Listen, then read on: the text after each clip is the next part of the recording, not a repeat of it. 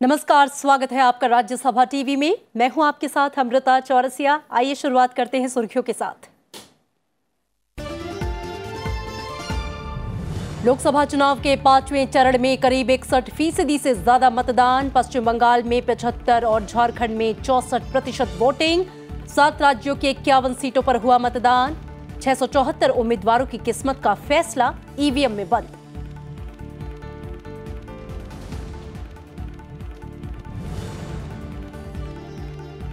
पाँचवें दौर के दिग्गजों में अमेठी से राहुल गांधी और स्मृति ईरानी आमने सामने। रायबरेली से सोनिया गांधी और लखनऊ से राजनाथ सिंह।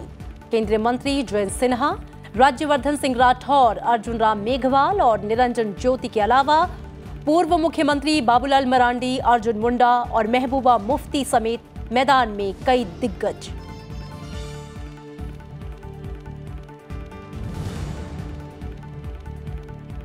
प्रधानमंत्री नरेंद्र मोदी की पश्चिम बंगाल और झारखंड में जनसभा चक्रवात फौनी को लेकर ममता बनर्जी पर राजनीति करने का आरोप लगाया, कहा पश्चिम बंगाल का बच्चा बच्चा ट्रिपल टी टैक्स से परिचित।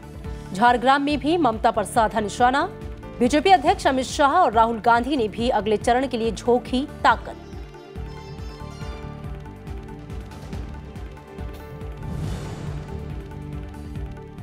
प्रधानमंत्री नरेंद्र मोदी ने ओडिशा के तूफ़ान पीड़ित इलाकों का किया हवाई सर्वेक्षण।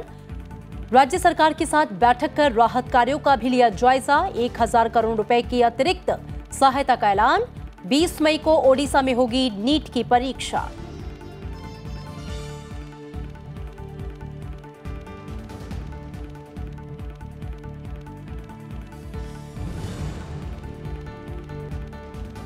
और सीबीएसई की दसवीं बोर्ड परीक्षा के नतीजों का ऐलान। 500 में से 499 नंबर हासिल कर तेरह छात्र पहले स्थान पर।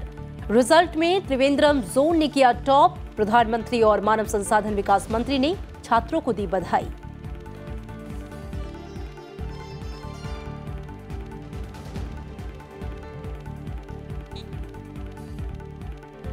और आइए बुलेटिन में सबसे पहले खबरें लोकसभा चुनाव से जुड़ी हुई।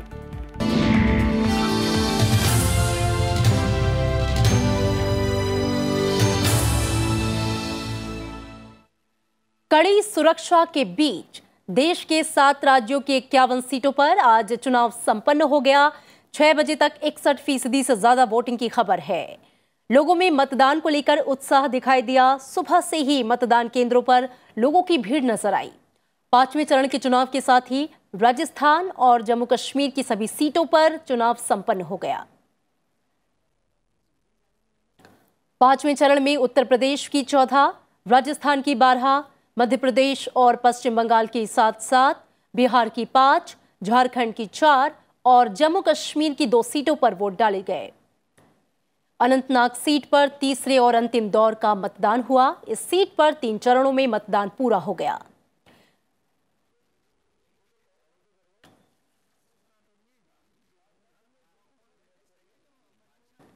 इस दौर में छह सौ चौहत्तर उम्मीदवारों की किस्मत का फैसला ईवीएम में बंद हो गया है। इससे पहले चार चरणों में तीन सौ तिहत्तर सीटों पर मतदान पूरा हो चुका है। इसके बाद छठे और सातवें चरण में उनसठ उनसठ सीटों पर मतदान होगा।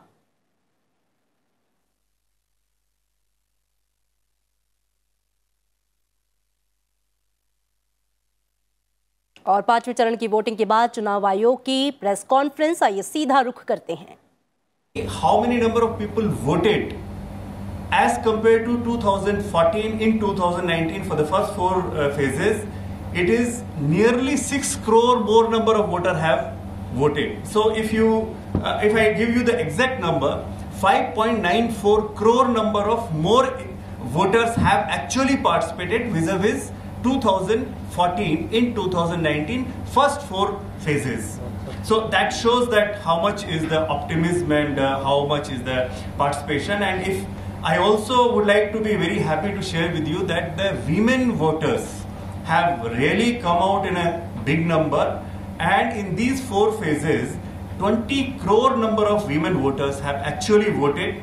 If you see the third gender 6,389 number of uh, third gender people they have participated and if you see in absolute percentage figure for first four phases, the voting percent up to fourth phase is higher by 1.09%. So if you add all the four phases of 2014 and 2019, the increase voting percentage wise is 1.09%.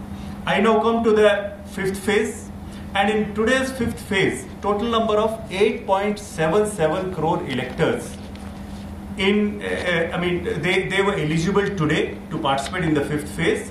If I give you the breakup, it is 4.63 crore male electors, 4.14 crores women electors, female electors, and 2,119 third gender. They were eligible to participate, and uh, out of that, the turnout I'll be telling you in the end. If you see, 99,280 number of polling station. Today the polling took place for the phase 5 and uh, a very uh, sort of uh, mm, interesting figure I am giving it to you.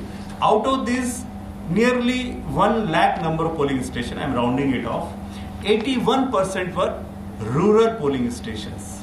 So majority of the polling stations were rural in this particular phase uh, the persons with disability marked for today's phase were total 6.19 lakhs.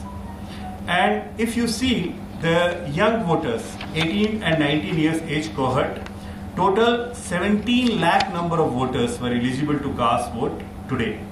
And I really express my heartfelt thank and gratitude to all the voters, especially the women, person with disability, and also the senior citizens who came out in big number and as I have already told up till fourth phase 1.09% was the additional turnout. If you see absolute number it is more than 5 crores. They came in big number and I also thank the security personnel. The entire set of ROs, AROs, DOs and polling personnel which are in lakhs of number the BLOs who have really made this exercise in a, in in a very peaceful way to be organized and uh, they really had a good uh, sort of uh, support they gave to us and to the voters.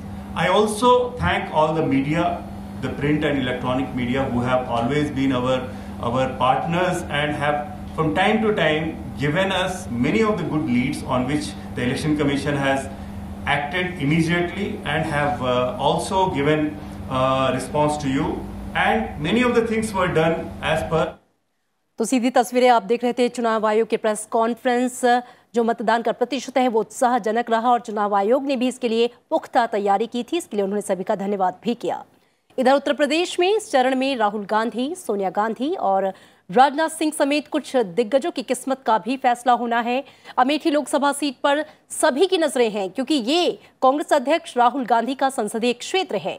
यहाँ से कांग्रेस अध्यक्ष चौथी बार चुनाव मैदान में हैं और उनका मुकाबला बीजेपी की स्मृति ईरानी से है। एसपी, बीएसपी और आरएलडी गठबंधन ने यहाँ से उम्मीदवार नहीं उतारा है।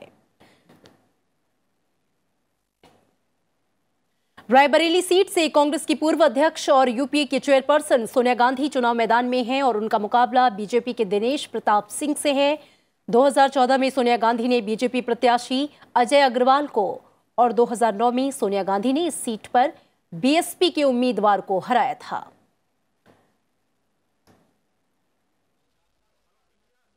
लखनऊ लोकसभा सीट पर बीजेपी की तरफ़ से राजनाथ सिंह और कांग्रेस की तरफ़ से आचार्य प्रमोद कृष्णम चुनाव मैदान में हैं। इनके अलावा शत्रुघ्न सिन्हा की पत्नी पूनम सिन्हा भी यहाँ से लोकसभा चुनाव लड़ रही हैं। उन्हें एसपी, बीएसपी, आरएलडी गठबंधन ने अपना उम्मीदवार बनाया है। 2014 में लखनऊ से केंद्रीय गृह मंत्री राजनाथ सिंह ने कांग्रेस की तरफ़ से चुनाव मैदान में उतरी रीता बहुगुणा जोशी को हराया था। 2009 में ये सीट बीजेपी की तरफ़ से लालजी टंडन ने जीती थी। धौरहरा सीट से कांग्रेस के पूर्व केंद्रीय मंत्री जतिन प्रसाद को चुनाव मैदान में उतारा गया है। जतिन प्रसाद का मुकाबला बीजेपी की मौजूदा सांसद रेखा वर्मा से होगा। वहीं बीएसपी के अरशद इलियास सिद्दीकी भी मैदान में हैं। वहीं फैजाबाद सीट पर बीजेपी, कांग्रेस और सपा बसपा आरएलडी गठबंधन के बीच त्रिकोणीय मुकाबले के आसार हैं। बीजेपी की तरफ़ से यहाँ से मौजूदा सांसद लल्लू सिंह, कांग्रेस की तरफ़ से पार्टी के पूर्व प्रदेश अध्यक्ष निर्मल खत्री और समाजवादी पार्टी की तरफ़ से आनंद सिंह मैदान में हैं।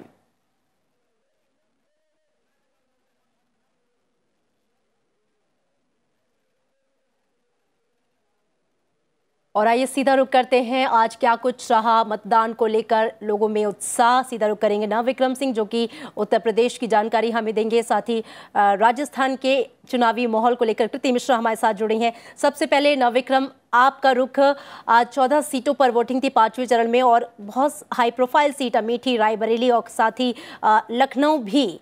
अगर पिछली बार की बात करें 2014 की तो इस 14 सीटों में से बारह बीजेपी के खाते में गई थी। इस बार का क्या चुनावी समीकरण है और आज वोटिंग को लेकर लोगों में कितना उत्साह और क्या मुद्दे जो अहम थे?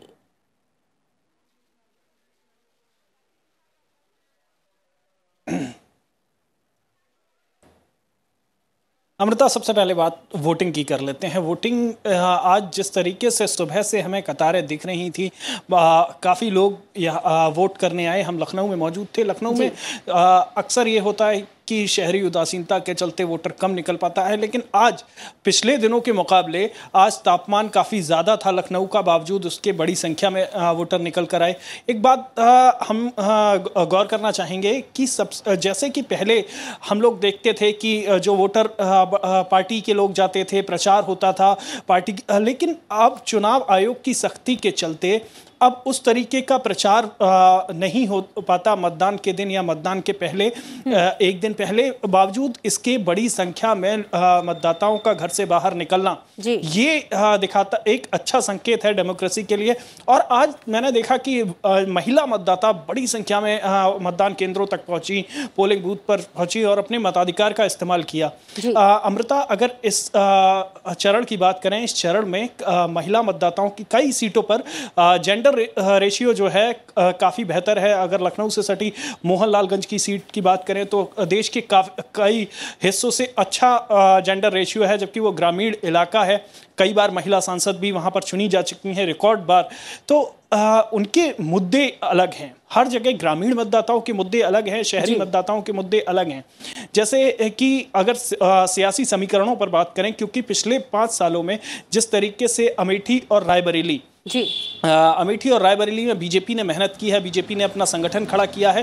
तो आ, थोड़ा सा मुश्किल नज़र आ रहा है और ख़ास तौर पर अगर अमेठी है तो अमेठी में बीजेपी ने आ, अपनी कद्दावर नेता स्मृति ईरानी को उतारने के बाद वहाँ की लड़ाई बेहद दिलचस्प हो गई है। हालाँकि रायबरेली में सोनिया गांधी के खिलाफ इतना मज़बूत कैंडिडेट नहीं उतार सकी बीजेपी।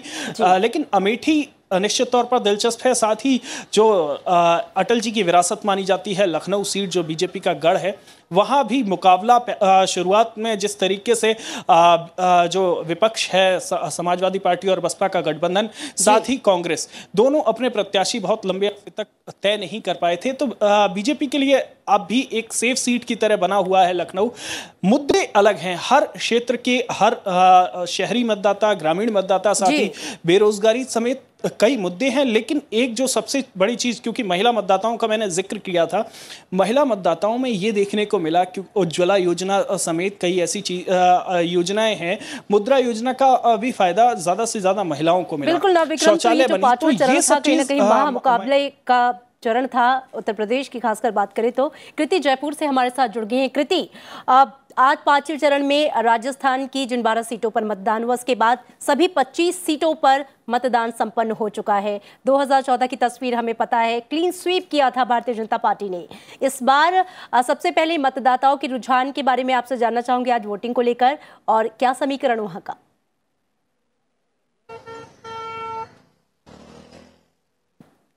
जी हाँ अमृता देखिए अभी इलेक्शन कमीशन की प्रेस कॉन्फ्रेंस चल रही थी तो जो फाइनल आंकड़े हैं वो हमें थोड़ी देर में ही पता चलेंगे। लेकिन जो लास्ट आंकड़े हमें पता चले थे जो औपचारिक आंकड़े थे वो राजस्थान की अगर बात करें तो 50 परसेंट वोटर टर्नआउट रहा तीन बजे तक। हम्म। उसके बाद जो सबसे ज़्यादा हाईएस्ट वोटर टर्नआउट रहा वो गंगानगर में रहा तकरीबन 57 परसेंट। उसके अलावा चुरू और अलवर में 51 परसेंट और जयपुर में 54 परसेंट देखिए अगर मैं सियासी इक्वेशन की बात करूँ तो कई बड़े उम्मीदवार हैं जिनकी किस्मत का फैसला इस दौर में होना है। चाहे वो केंद्रीय मंत्री राज्यवर्धन सिंह राठौर हो या फिर अर्जुन राम मेघवाल हो या फिर एनडीए कैंडिडेट हनुमान बेनीवाल हो वही कांग्रेस के भी बड़े चेहरे इस दौर में सामने है। चाहे वो ज्योति मिर्धा हो जितेंद्र सिंह हो इसके अलावा कृष्णा पुनिया हो। अब सभी उम्मीदवारों की किस्मत का फैसला ईवीएम में कैद हो चुका है। और अगर वोटर टर्नआउट की बात करें तो देखिए जो पहला फ़ेज़ था जिसमें तेरह कंस्टिट्युएंसीज पर वोट डले थे उसमें 68 परसेंट था जो 2014 के मुकाबले तकरीबन चार से पाँच फ़ीसदी ज़्यादा था। इस बार भी उम्मीद है कि जो फाइनल वोटर टर्नआउट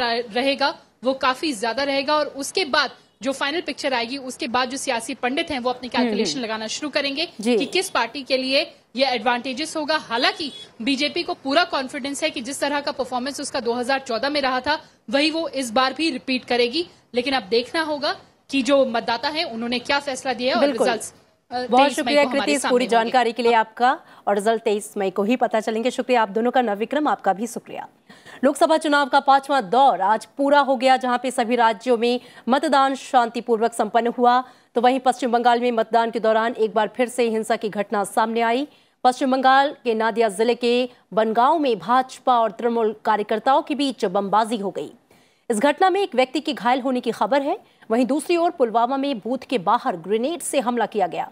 खबरों के मुताबिक आतंकियों ने चटपोरा बूथ के बाहर ग्रेनेड से धमाका किया।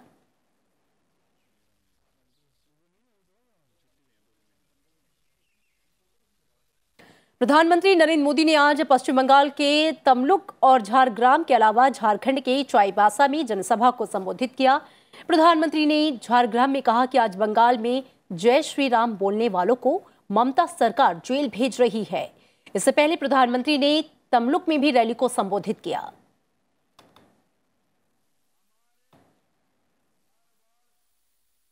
पश्चिम बंगाल में राम नाम लेना भी अपराध हो गया है क्या?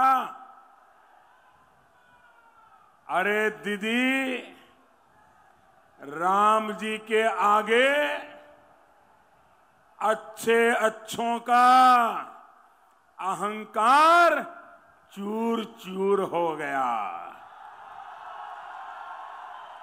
आपका अहंकार कहाँ तक ठहर पाएगा? वामपंथियों का तो समझ में आता है।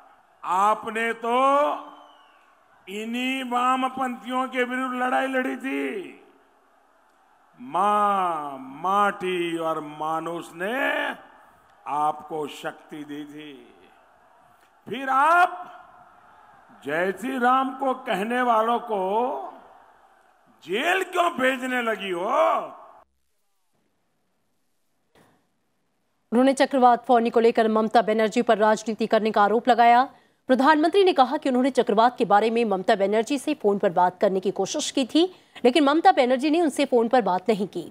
पश्चिम बंगाल का बच्चा बच्चा ट्रिपल टी टैक्स से परिचित है।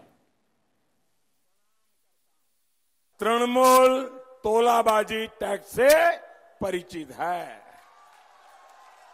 ये तृणमूल तोलाबाजी टैक्स ये है ट्रिपल टी टैक्स कॉलेज में एडमिशन हो, टीचर की भर्ती हो, या ट्रांसफ़र हो लोग बताते हैं कि सब जगह तृणमूल तोलाबाजी टैक्स लगता है।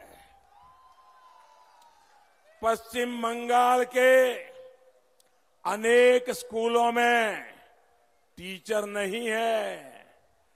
ट्रिपल टी के चलते अनेक स्कूल में पढ़ाने की बजाय कोर्ट के चक्कर लगा रहे हैं।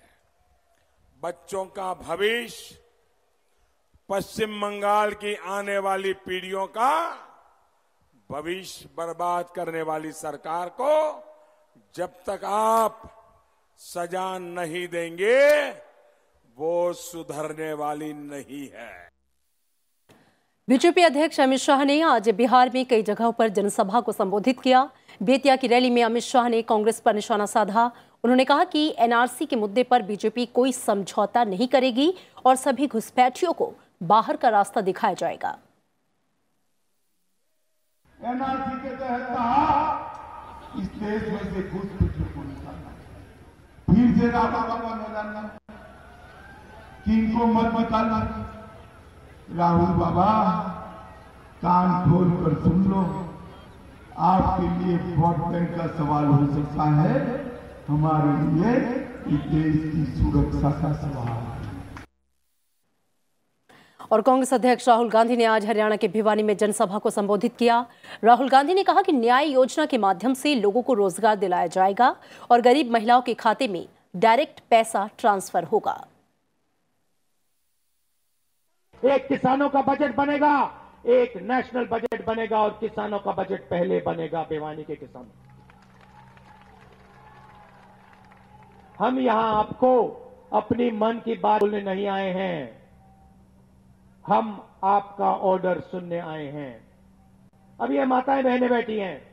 मैंने आपसे पहले ही बोला, पहले ही बोला, देखिए, न्याय योजना का पैसा आपके बैंक अकाउंट में जाएगा।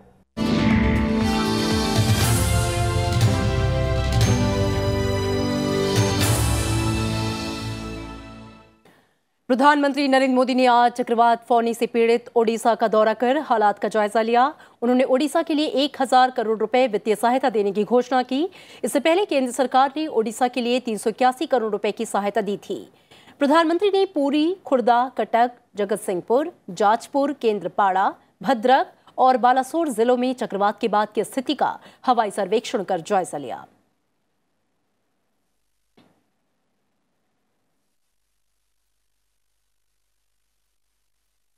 हवाई सर्वेक्षण से लौटने के बाद प्रधानमंत्री ने अधिकारियों के साथ राहत कामों की समीक्षा की। प्रधानमंत्री नरेंद्र मोदी ने ओडिशा के नागरिकों की तारीफ़ करते हुए कहा कि सभी ने मिलकर बेहतर काम किया। उन्होंने तूफ़ान से तबाही से मदद के लिए एक हज़ार करोड़ रुपए की तत्काल मदद का ऐलान किया है।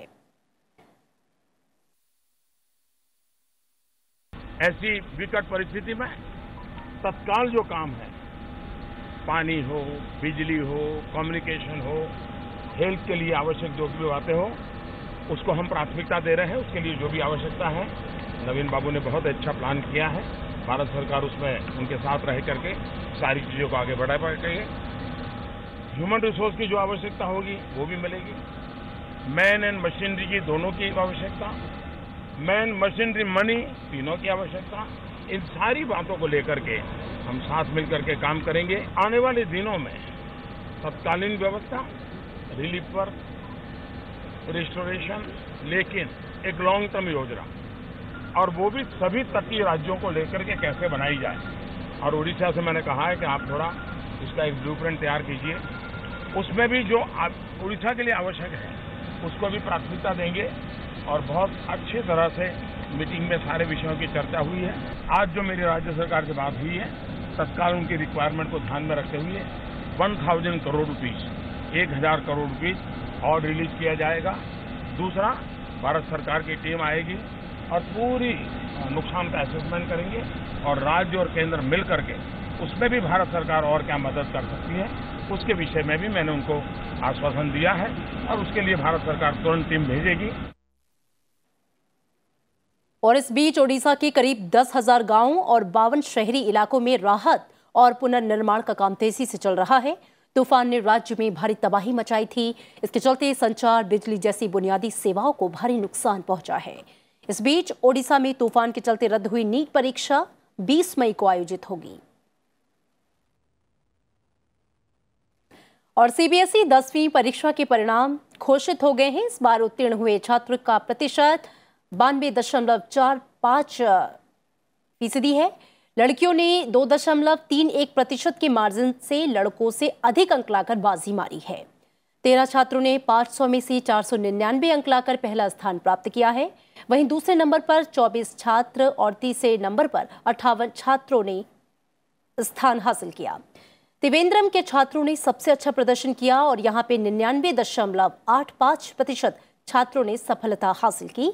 वहीं दूसरे स्थान पर चेन्नई के निन्यानवे प्रतिशत छात्रों ने और अजमेर ने पचानवे दशमलव आठ नौ प्रतिशत छात्रों ने सफलता अर्जित की।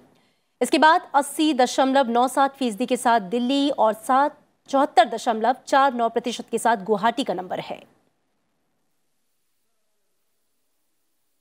सब हेल्प करते थे सबका मॉरल सपोर्ट था स्कूल टीचर्स का भी काफ़ी सपोर्ट था प्रिंसिपल तो सबको parents family teachers school teachers and everyone parents का support was extremely very huge मतलब काफ़ी पेरेंट्स मैंने देखा प्रेशराइज करते हैं अपने बच्चे को कि अच्छे नंबर चाहिए करो।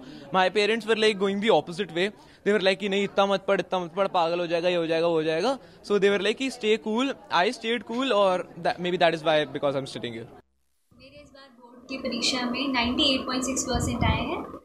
मैं बहुत बहुत ज़्यादा खुश हूँ अपने मार्क्स को लेके एंड इसके लिए मैं अपने पेरेंट्स अपने टीचर्स और सभी का शुक्रिया करना चाहती हूँ।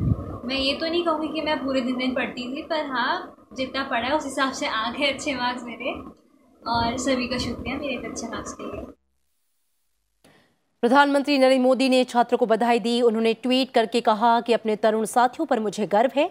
आगे के भविष्य के लिए इन बच्चों को ढेर सारी शुभकामनाएँ। मैं आशा करता हूँ कि ये बच्चे आगे भी गौरवान्वित करते रहेंगे। साथ ही शिक्षकों और अभिभावकों को भी इस मौके पर बधाई। इस मौके पर शिक्षा मंत्री प्रकाश सिंह जावड़ेकर ने भी बधाई दी। और इसी के साथ इस बुलेटिन में मेरे साथ इतना ही, लेकिन आप देखते रहिए राज्यसभा टीवी। नमस्कार।